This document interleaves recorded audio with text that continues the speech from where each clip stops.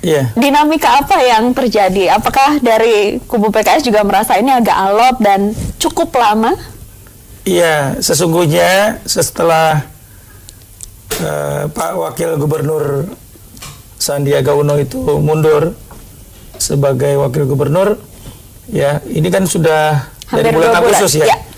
Nah, kita berharap memang bagaimana uh, bisa terus ditindaklanjuti Baik. agar tidak ada kekosongan di dalam uh, wakil gubernur itu. Nah, memang saya kira ini masalah politik ya. Uh, ada apa namanya? Uh, kita lihat memang ada memerlukan waktu. Oke. Nah, waktu inilah saya kira kalau dari Agustus sampai sekarang ini waktu yang sangat tepat barangkali, Oke. apalagi kita di bulan Oktober ini misalnya eh, untuk gubernur, ya untuk wakil gubernur Ya. sudah bisa